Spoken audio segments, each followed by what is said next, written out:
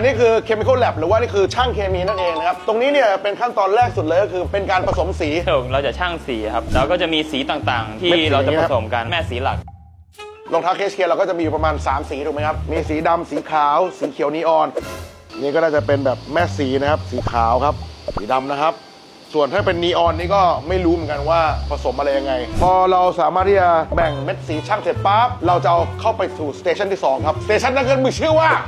Mix Compound Station ครับปั๊บเครื่องนี้คือเรียกว่า Mix Compound Station นะครับนี่ก็คือเม็ดยาง EVA นั่นเอง ตรงนี้เนี่ยจะเป็นวัตถุดิบหลักใช้เม็ดยาง EVA Compound เนี่ย 80%ส่วนอีก 20%เนี่ยจะเป็นสูตรที่ทางแต่ละแบรนด์เขาต้องการความหนานุ่มขนาดไหน ก็ผสมไปตามนั้น หลาย ๆ แบรนด์เนี่ยบางทีนำเข้ามาจากทางอเมริกาบ้าง เอาเข้ามาจากจีนบ้าง เขาต้องฉีดมาแข็งเป็นพิเศษ เพราะว่าเวลาเดินทางมาเจอความร้อนมันจะหดนะครับเขาเลยต้องฉีดให้มันแข็งนิดนึงเพื่อไม่หด เนี่ยคือสูตรสำเร็จอย่างหนึ่งของ KHK Shoes เพราะว่าเราเป็นหนึ่งในรองเท้ายาง EVA ที่ฉีดเองในประเทศไทย พอเราทำในไทยเราสามารถฉีดให้มันนุ่มที่สุดเขาทำได้ เขาไปกวนกันเอาไป mix กันนะครับ จนมันจะมีลักษณะคล้ายๆ กับแป้งขนมปังเลย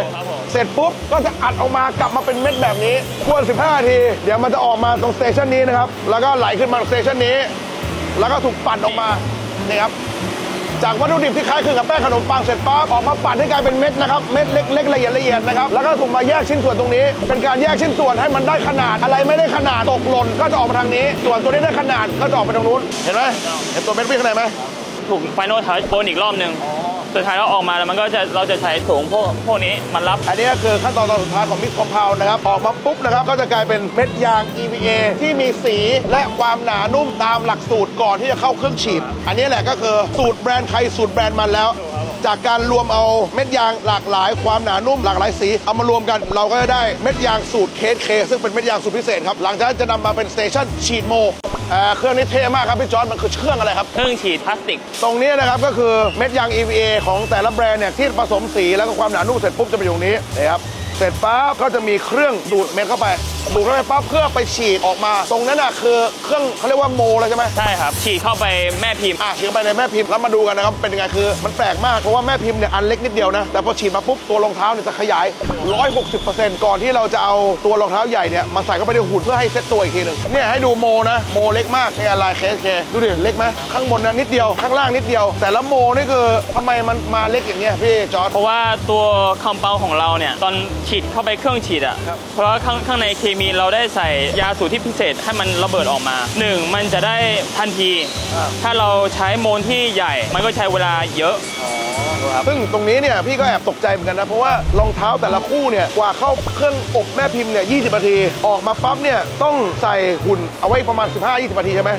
แล้วก็ปล่อยให้มันเซ็ตตัวเนี่ยแล้วก็ cool down เนี่ยอีกเกือบ 2 ชั่วโมง ก่อนที่จะเข้ามาสู่ stage สุดท้ายนะครับแล้วก็แพ็คของอันนี้เขาเรียกว่า cosmetic หรือว่าเติมแต่งความสวยในจุดนี้เราจะทำความสะอาดเบื้องต้น แล้วก็รอพอ 2 ชั่วโมงมันแห้งเราก็ต้องใช้เจาะอันนี้คือเรารอระหว่างที่พักอยู่เราต้องพักประมาณ 2 ชั่วโมงครับก่อนที่จะทำความสะอาดแล้วก็เจาะรูแล้วก็เข้ากล่องได้ครับเราใช้ตัวเสร็จปุ๊บเราก็จะเอาไปเข้าสูตร cosmetic เจาะแล้วก็เข้าแพ็คก็แพ็คกล่องตัวนี้เลยแพ็คเสร็จปั๊บ ติดซ้าย ติดแบรนด์ แล้วก็จะมีรถมารับขนไปที่บริษัทโกดัง fulfillment อีกทีหนึ่งขั้นตอนคร่าวๆประมาณนี้นะครับ หลังจากนี้เนี่ยเราก็จะ